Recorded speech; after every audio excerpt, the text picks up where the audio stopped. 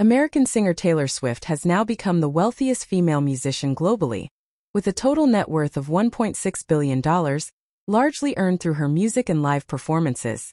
On October 7th, Forbes reported that Swift had overtaken the former title holder Rihanna, who has a net worth of $1.4 billion.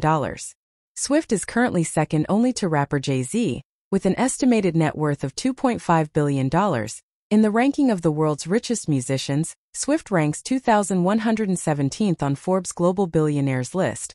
While Rihanna is positioned at 2,336, Swift's income is mainly derived from her music royalties and concert revenue.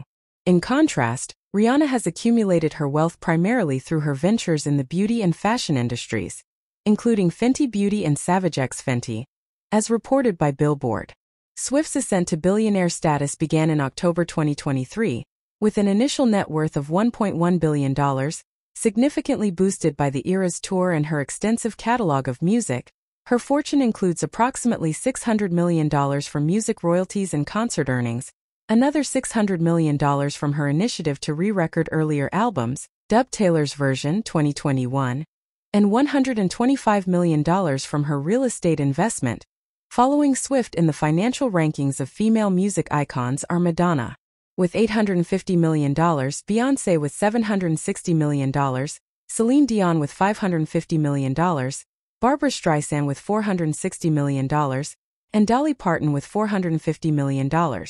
Swift 34 first gained prominence in 2006 with her country music albums, and has since released a total of 11 albums. Throughout her career, she has garnered 14 Grammy Awards, 29 Billboard Music Awards, and 30 MTV VMAs.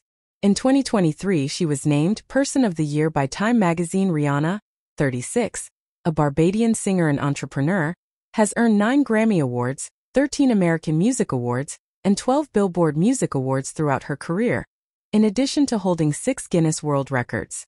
Among her most famous songs are Umbrella, Diamonds, and Only Girl. In July 2022, Forbes acknowledged Rihanna as the youngest self-made female billionaire in the U.S.